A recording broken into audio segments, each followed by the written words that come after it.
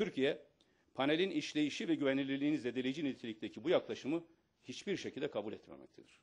Türkiye, Birleşmiş Milletler Güvenlik Konseyi'nin oy birliğiyle yaptığı başkanlık açıklamasının lafzı ve ruhuyla bağdaşmayan bu yaklaşımı ve yargıyı da şiddetle reddetmektedir.